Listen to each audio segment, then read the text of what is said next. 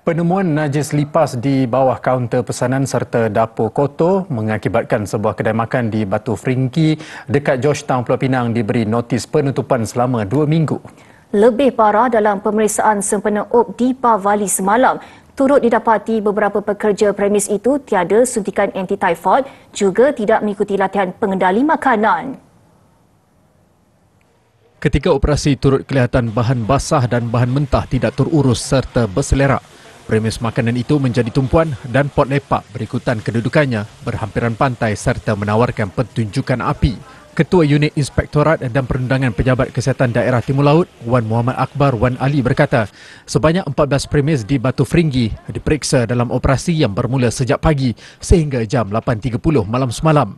Daripada jumlah itu, empat premis menerima notis penutupan. Kesemua premis yang diperiksa terdiri daripada kedai makan, kafe dan restoran yang menjadi tumpuan pengunjung di Batu Fringgi. Keseluruhan nilai kompaun dikenakan terhadap premis yang diperiksa berjumlah RM13,600.